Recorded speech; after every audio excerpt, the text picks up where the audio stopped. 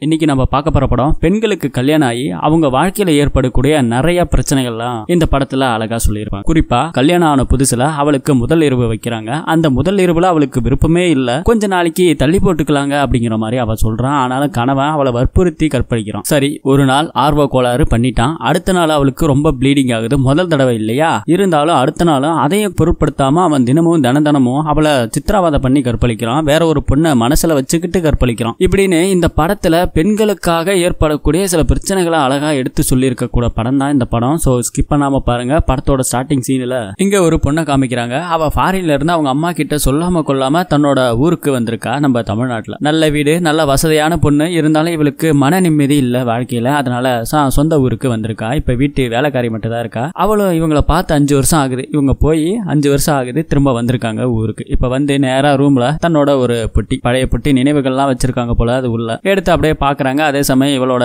சின்ன வயசுல ஸ்கூல் படிக்கும்போது ஏற்பட்ட காதலை அப்படியே நினச்சி பார்க்குறா. இது ஒரு பக்கம் இருக்க கட் பண்ண அடுத்து ஒரு பொண்ணை காமிக்கிறாங்க. நம்ம படத்தோட ஹீரோ இவங்க வீட்டில் இப்போ புதுசாக மாப்பிள்ளை பார்த்துருக்காங்க. இன்னைக்கு ஆறரை மணிக்கு வீட்டுக்கு வராங்க. ஆனால் பொண்ணுக்கு இந்த கல்யாணத்தில் கொஞ்சம் விருப்பம் இல்லை. இன்னும் கொஞ்சம் நாள் கழிச்சு கல்யாணம் பண்ணிக்கலாம் அப்படிங்கிற மாதிரிலாம் சொல்லிக்கிட்டு இருக்காங்க. ஆனால் வீட்டிலேயோ உனக்கும் உன் தங்கச்சிக்கு கல்யாணம் பண்ணிட்டா எங்களுக்கு பிரச்சனை கொஞ்சம் குறையும் அப்படிங்கிற மாதிரிலாம் பேசிக்கிட்டே இருக்காங்க. கட் பண்ணா இப்போ ட்ரெயினில் நம்ம ஹீரோவை காமிக்கிறாங்க. ட்ரெயினில் வந்துகிட்டு இருக்கான். கீழே உட்காந்துருக்கும் போது அங்கே பக்கத்தில் ஒரு லேடி ஒருத்தவங்க வராங்க. நீங்க உட்காருங்கன்னு சொல்லிட்டு தான் உட்கார்ந்து உட்கார்ந்துருந்த சீட்ல அவங்கள உட்கார வைக்கிறான் உட்கார வச்ச பொண்ணோட ட்ரெஸ்ஸு கொஞ்சம் விலகி இருக்கு. இவன் தப்பா பாத்துக்கிட்டு இருக்கான். அதை இவன் தான் நம்ம படத்தோட ஹீரோ சோசியல் வெல்ஃபேர் ஆபீஸ்ல ஒர்க் பண்ற ஒரு ஆள். கவர்மெண்ட் அதிகாரி இப்ப ஆபீஸ்ல உட்காந்துருக்காரு அப்ப அங்க இருக்க சிஸ்டத்துல யூடியூப்ல தப்பான ஒரு படத்தை பாத்துக்கிட்டு இருக்கான். என்ன நக்கல் வருங்க இவனுக்கு. ஆபீஸ்ல வேலை பார்த்துக்கிட்டு இருக்க போது அங்க ஹையர் ஆபீசர் வராரு. அவர்கிட்ட சில வேலைகள்லாம் இருக்கு. பெண்டிங்லாம் அந்த வில்லேஜுக்கு போகணுன்றாரு அவரும் நான் அப்ரூவல் கொடுத்ததுக்கு அப்புறம் போலான்றாரு. இப்ப அவர்கிட்ட பர்மிஷன் கேட்கறான் சார் இன்னைக்கு சாயந்தரம் நான் கொஞ்சம் சீக்கிரம் வீட்டுக்கு போகணும் அப்படிங்கிற மாதிரி எல்லாம் சொல்றாரு. அவரு என்னப்பா என்ன விசேஷம் அப்படிங்கிற மாதிரி கேட்கும்போது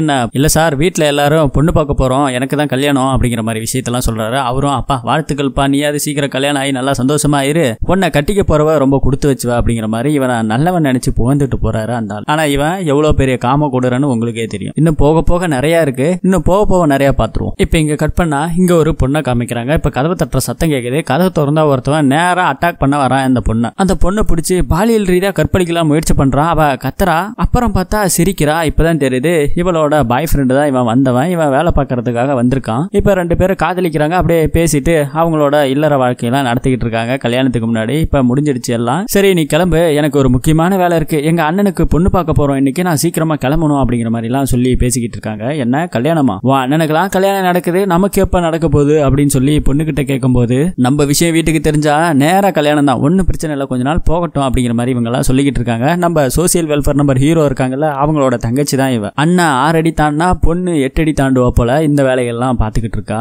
இப்போ நம்ம ஹீரோ தங்கச்சி ஹீரோவோட அப்பா அம்மா எல்லாரும் பொண்ணு பார்க்கறதுக்காக கிளம்பிட்டாங்க. நம்ம ஹீரோயின் வீட்டுக்கு வந்தாச்சு. பொண்ணெல்லாம் பார்க்குறாங்க. பிடிச்சிருக்காடான்னு சொல்லி கேட்குறாங்க ரொம்ப பிடிச்சிருக்குன்னு சொல்றாங்க. மாப்பிள்ளை வீட்லயே பத்தி விசாரிக்க ஆரம்பிக்கிறாங்க. மாப்பிள்ளை கவர்மெண்ட் உத்தியோகம். அதனால நல்ல பையனா இருக்காரு பார்த்தா. அப்படின்னு சொல்லி இந்த வீணா போனவன அவ தலையில கட்டலாம் முடிவு பண்ணிட்டாங்க. கல்யாணத்தையும் பண்ணலாம் முடிவு பண்ணியாச்சு. இப்போ பொண்ணு மாப்பிள்ளையும் கொஞ்சம் தனியா பேசணும் அப்படிங்கிற மாதிரி முடிவு பண்ணி அனுப்புறாங்க ரெண்டு பேர்த்தையும். பயபுள்ள தனியா பார்த்து பேசுறதுக்காக போகும்போது பொண்ணு முகத்தை பார்த்து தானே எல்லாரும் பேசணும். பொண்ணோட முகத்தை தானே பார்க்கணும் ஆளுங்களா ஆனா இவன் நேரா அவளோட இடுப்பை பார்க்கறான். இடுப்பை பார்த்துட்டு என்ன பேசுறதுன்னு தெரியலங்க. ஒரே பதட்டமா இருக்கு அப்படிங்கிற மாதிரி இவன் பேசிக்கிட்டு இருக்கான். சரிங்க நேரா விஷயத்துக்கு வர உங்களை எனக்கு பிடிச்சிருக்கு. என்ன உங்களுக்கு பிடிச்சிருக்கான்னு சொல்லி கேட்கறான் அப்புறம் ஓகே ஆச்சு நம்ம ஊர்ல எல்லாம் மாற்றி மாத்தி தான் கல்யாணம் பண்ணுவாங்க. இவங்க வீட்டுல ஸ்வீட்டை ஊட்டி கொடுத்து கல்யாணம் பண்ணுவாங்க.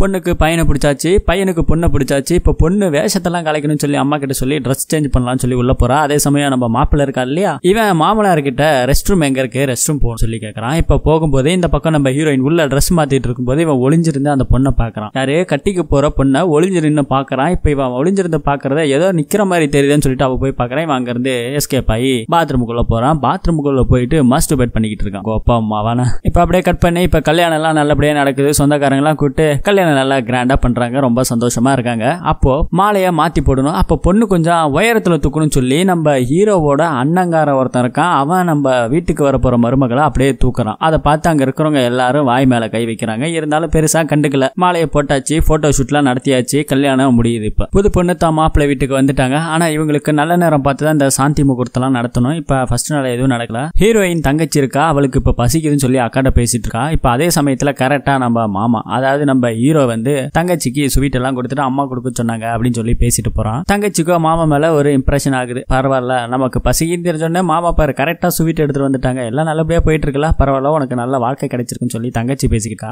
அடுத்த நாள் நம்ம ஹீரோ வேலைக்கு போய் வேலை பார்க்குற இடத்துல எல்லாரும் கல்யாணம் இடத்துக்காக ஸ்வீட் எல்லாம் கொடுத்துக்கிட்டு இருக்காரு இப்போ வீட்டில் காமிக்கிறாங்க புது கல்யாணம் ஆச்சுல நம்ம பொண்ணு ஹீரோயின் வராங்க சமையல் கட்டுக்க. அப்ப அங்க ஒரு பொண்ணு இருக்கா. இவ யாருன்னா நம்ம ஹீரோவோட அண்ணன் பொண்டாட்டி அண்ணி முறை. ஏதாவது ஹெல்ப் பண்ணுமான்னு கேட்குறாங்க அதெல்லாம் ஒண்ணு வேண்டாமா நீ ரெஸ்ட் எடு அப்படின்னு சொல்றாங்க. வீட்டுல வேலை பார்க்கறதுக்கு வேலைக்காரியெல்லாம் இருக்காங்க. இப்ப அதே சமயம் நம்ம ஹீரோவோட அண்ணன் நம்ம ஹீரோயின் பின்னாடி வந்து நின்று அப்படியே மோப்பம் பிடிச்சிட்டு நிக்கிறான். அப்புறம் ஹாய் நல்லா இருக்கீங்களா? இது நைட்டு நல்லா தூங்கிலீங்களா? அப்படின்னு சொல்லி குட் மார்னிங் சொல்லி கையெல்லாம் கொடுத்து கொடுக்குறான். அது பொண்டாட்டி பாரி முறைச்சு பாக்குறான் அப்படியே கையை விட்டுறான். இப்போ அடுத்து நம்ம ஹீரோவோட தங்கச்சி வீட்டில் இருந்த ஒரு பிரேஸ்லெட்டை காணாம சொல்லி கத்திக்கிட்டு இருக்கா. இப்போ எல்லாரும் கூப்பிட்டு தேடுறாங்க. ஆனால் எங்கேயுமே கிடைக்கல. கடைசியில் பார்த்தா வீட்டுக்கு வேலைக்கு வந்த வேலைக்காரி அவளோட பையில் அந்த பிரேஸ்லெட் இருக்கு. இதனால அவளை அடிச்சு அங்கேருந்து வெளியே துரத்துறாங்க. மாமியார்காரியோ எவ்வளவு நம்பிக்கை வச்சிருந்தா இப்படி பண்ணிட்டா பாருமா அப்படின்னு சொல்லி மருமகள்கிட்ட சொல்லிக்கிட்டு அப்படியே அடுத்த சீனா நம்ம ஃபாரின்ல இருந்து வந்த ஒரு பொண்ணு இங்க சோசியல் வெல்ஃபேர் அதே ஆபீஸ்ல நம்ம ஹீரோ வேலை பார்க்குற ஆபீஸ்ல வந்து அங்க இருக்கிற ஐயர் ஆபீஸ்ல வேலை கேட்டு வராங்க. ஆனா இவங்க லண்டன்ல சேர்ந்தவங்களா இருந்தாலும் தமிழ் நல்லா பேசுகிறாங்க இருந்தாலும் இவங்களுக்கு இங்கே இருக்கிறது தான் பிடிச்சிருக்கு பிடிச்சிருக்கு. அப்பா வெளிநாட்டில் இருந்தாலும் அம்மா நம்ம சொந்த ஊர் தான். அதனால தமிழ் நல்லா பேசுகிறாங்க சரிம்மா உனக்கு வேலையெல்லாம் போட்டு கொடுக்குறோம். ஒன்றும் பிரச்சனை இல்லை. நீ போயிட்டு மண்டே வாங்க அப்படிங்கிற மாதிரிலாம் சொல்லிடுறாங்க. அடுத்து நம்ம வீட்டை தான் காமிக்கிறோம். மாமியார் காரி பொண்ணுக்கு புடவை கொடுத்து இன்னைக்கு உங்களுக்கு சாந்தி முகூர்த்தமா நல்ல நேரம் கட்டிக்கிட்டு வா ரெடியாரு அப்படிங்கிற மாதிரி சொல்லிடுறாங்க. அதே சமயம் நம்ம மாப்பிள்ளை வீட்டுக்கு வராப்புல அம்மாவும் டே பத்தரை மணிக்கு நல்ல நேரம்டா. சாந்தி முகூர்த்தம்லாம் நடக்கணும். நல்ல நேரத்தில் நடக்கணும். புரியுதா? வீட்டுக்குள்ளே போ. அப்படின்னு சொல்லி அவனை ட்ரெஸ் எல்லாம் சேஞ்ச் பண்ணிட்டு இப்போ முகூர்த்தம் ஆயிடுச்சு வீட்டுக்குள்ளே வராங்க. முதல் இரவு நடக்க போகுது. பொண்ணு ரெடியாக இருக்கா? இப்போ பையனும் அவன் ஆல்ரெடியே எப்பயுமே ரெடியாக தான் இருப்பான். இப்போ ரெண்டு பேரும் உட்காராங்க கட்டில். பொதுவாக முதல் இரவு அன்னைக்கு மனசு விட்டு பேசணும். ஆனால் இவன் நேராக என்ன பண்ணுறான் பொண்ணுக்கு முத்தம் கொடுக்க போகிறான் பக்கத்தில் உட்காந்து அந்த பொண்ணு எங்க இருங்க. கொஞ்சம் நாள் தள்ளி வச்சுக்கலாங்க. அப்புறமா பண்ணிக்கலாங்க. இப்போ வேண்டாமே அப்படிங்கிற மாதிரி பொண்ணு சொல்லிக்கிட்டு இருக்கான் இவனுக்கா மண்டையை பிச்சுக்கிறான். என்னடா இது? கல்யாணம் ஆகி நம்ம இத்தனை நாள் காத்துக்கிட்டு இருந்ததை முதல் நாள் பண்ணலாம்னு பார்த்தா இவன் இப்படி ஒரு குண்டை தூக்கி போறாளே ஆனால் இப்போ டைம் கரெக்டாக டென் டுவெண்ட்டி ஃபைவ் ஆகுது. டக்குன்னு ஏஞ்சி ட்ரெஸ்ஸை கழட்டுறான். ஏய், ஏந்திரி ஏந்திர ட்ரெஸ்ஸை கழட்டு. முகூர்த்த டைம் வந்துருச்சு முகூர்த்த டைம் வந்துருச்சுன்னு சொல்லி அந்த பொண்ணை வலுக்கட்டாயமா கட்டில் படுக்க வச்சு ட்ரெஸ் எல்லாம் அவுக்குறான். அவளை கத்துறா ஏங்க வேண்டாங்க இன்னைக்கு வேண்டாங்க. கொஞ்ச நாள் போட்டுங்க ப்ளீஸுங்கன்னு கெஞ்சுறான். ஆனா இவனா கொடுற மாதிரி அவளை அடிச்சு மேலே ஏறி படுத்துக்கிட்டு எல்லா வேலையும் செய்யறான் அவளுக்கு அதுல விருப்பமே கிடையாது. இருந்தாலும் வலுக்கட்டாயமா முதல் இரவில் நடந்துக்கிறான் இவன். அவன் வேலையை அவன் பார்த்துட்டு அவன் படுத்துக்கிறான். பாவம் இவளா வலி ஒரு பக்கம். இவ அழுதுகிட்டே இருக்கா ரொம்ப நேரம். விடிய விடிய அழுதுகிட்டு இருக்கா. தன்னை மீறி இப்படிலாம் நடந்துக்கிறாங்களே காட்டு மிராண்டித்தனமா? இப்படி ஒருத்தனை வச்சுட்டு நம்ம வாழ்க்கை எப்படி பண்றது? இவளுக்கு ஆயிரத்தி எட்டு யோசனை இருக்குது. அதை நினைச்சு அழுதுகிட்டு இருக்கா. அதே சமயம் காலையில கரெக்டா அஞ்சு மணிக்கு கதவை தட்டுற சத்தம். யாருன்னு பார்த்தா மாமியார்காரி வேலைக்காரியை வீட்டு விட்டு அடிச்சு துரத்தி அடிச்சு திருட்டு பட்டம் கட்டி இப்போ வீட்டுல வேலை பார்க்கறதுக்கு ஆள் வேணும். பாத்திரம்லாம் அப்படியே கிடக்குது. வாமா கழிவைன்னு சொல்லிட்டு அவ வீட்டு வேலையெல்லாம் பார்த்துக்கிட்டு இருக்கா. இப்ப வீட்டை தொடச்சிக்கிட்டு இருக்கா உட்காந்துக்கிட்டு அதே சமயம் நம்ம ஹீரோவோட தங்கச்சி அண்ணி பின்னாடி பாருங்க அப்படிங்கிற மாதிரி சொல்றா. இவ தொடச்சிட்டு போன இடத்த சுத்தி அப்படியே ரத்த கரையா இருக்குது. நேத்து நடந்ததுல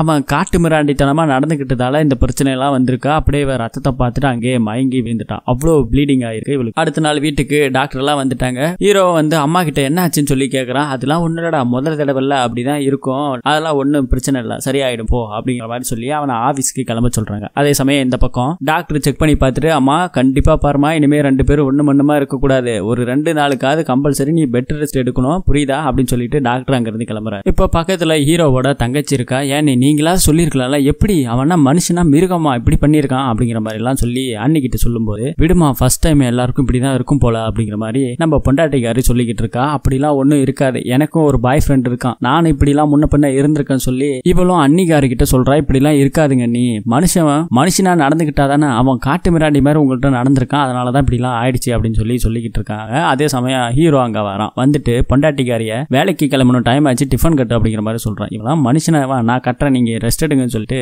அங்க இருந்து கிளம்புறாங்க. அடுத்தது நம்ம ஹீரோவோட தங்கச்சி அவனோட பாய் ஃப்ரெண்டை பார்த்துட்டு நடந்த கதை எல்லாத்தையும் அவன் கிட்ட சொல்லிக்கிட்டு இருக்கான் என் அண்ணன் இப்படிலாம் நடந்துக்கிறான்னு சொல்லிட்டு இருக்காங்க. அதே சமயம் பாய் ஃப்ரெண்டும் உன் அண்ணனுக்கு முன்ன பின்ன ஏதாவது காதலிச்சிருக்கானா? ஏதாவது இருந்திருக்கானா? அப்படிங்கிற மாதிரி எல்லாம் கேட்கும்போது அவன் பொண்ணுகிட்டே சரியா பேச மாட்டான் அவன். அப்பாவி பையன் அப்படின்னு சொல்லிக்கிட்டு இருக்காங்க. இன்னும் உங்க அண்ணிய மாதிரி எத்தனை பேர் தான் இப்படிலாம் இருக்காங்கன்னு எனக்கு தெரியல. ஆனா நிறைய பேர் இந்த மாதிரி இருப்பாங்கல்ல அப்படின்னு சொல்லி நம்ம பாய் ஃப்ரெண்டு தங்கச்சிக்கிட்ட சொல்றான். அதே சமயம் இங்க கட் பண்ணா ஆபீஸ்ல காமிக்கிறாங்க. புதுசா அந்த ஃபாரின் பொண்ணு வேலைக்கு ஜாயின் பண்ணியாச்சு. ஹையர் ஆஃபீஸரோ நம்ம ஹீரோ கிட்ட ட்ரைனிங் எல்லாம் எடுத்துக்க சொல்கிறாங்க இப்போ ஹீரோ கூட நல்லா ஜாலியாக சிரித்து பேசிக்கிட்டு இருக்காங்க. அதே சமயம் மதிய லஞ்சுக்கு வெளியே போகிறாங்க ஏங்க வெளியே போய் சாப்பிட்றீங்க? வாங்க எல்லாரும் ஷேர் பண்ணி சாப்பிடலாம் சொல்லி நம்ம ஹீரோ வீட்டில் கொண்டு வந்திருக்க சாப்பாட்டை அப்படியே ஷேர் பண்ணி சாப்பிட்றாங்க. சாப்பாடு ரொம்ப நல்லா இருக்குங்க. அப்படிலாம் அந்த பொண்ணு சொல்லிக்கிட்டு இருக்கா. நம்ம ஹீரோவும் அடுத்த நாள் நம்ம ஒரு வில்லேஜுக்கு போகிறோம் நீங்கள் வேணால் காலையில் வாங்கலாம் ரெண்டு பேரும் சேர்ந்து போய் கொடுப்போம் அப்படிங்கிற மாதிரிலாம் சொல்லிக்கிட்டு இருக்காங்க. புதுசாக அந்த பொண்ணும் சரிங்க அப்படிங்கிற மாதிரிலாம் சொல்லிடுறாங்க. ரொம்ப பார்க்க அழகாக இருக்காங்க. அதனால இவன் வலிஞ்சு வலிஞ்சு பேசிக்கிட்டே இருக்கான். அடுத்து வேலை முடிஞ்சு வீட்டுக்கு வரான். ரூமுக்குள்ளே வரான். பொண்டாட்டி இருக்கா? நேராக வந்த உடனே ட்ரெஸ் அவுத்துட்டு ரெடி ஆகுறான் போல. இதை பார்த்து பொண்டாட்டிக்காரு எங்க இன்னைக்கு வேணாங்க ரொம்ப வலிக்குதுங்க. அப்புறமா வச்சுக்கலாங்க ஒரு ரெண்டு நாள் கழிச்சு அப்படிங்கிற மாதிரிலாம் சொல்லி கெஞ்சி பேசிக்கிட்டு இருக்காங்க ஆனால் ஆனா அவனும் அப்படிலாம் முடியாது. அம்மா மூணு நாளைக்கு ஒன்னா சேரணும் சொல்லியிருக்காங்க. வாசிக்கிறோம் அப்படின்னு சொல்லிட்டு திரும்ப வலுக்கட்டாயமா அவளை பிடிச்சி பழைய மாதிரி கற்பழிச்சிட்டான். அவளுக்கு ஒரு பக்கம் வலியா வழியில துடிக்கிறா. அது இவன் கேட்கறான் என்ன வலிக்குதா? அப்படின்னு. ஆனா நம்ம பொண்ணு இல்ல அப்படிலாம் இல்லைங்க. நீங்க சீக்கிரமா முடிச்சீங்கன்னா பரவாயில்லன்னு சொல்லி அவன் பண்ண இவளுக்கு பயங்கரமான வலி. அழுதுகிட்டே இருக்கா. அப்படியே அன்னைக்கு நைட்டு போகுது. இப்போ அடுத்த நாள் டிஃபன்லாம் ரெடி ஆகுது ரெடி பண்ணி கொடுக்குறா. இப்போ வீட்டில் ஒரு சின்ன சண்டை. நம்ம அண்ணங்கார வெட்டியாக இருக்கான் குடிச்சிட்டு வரான்னு சொல்லிட்டு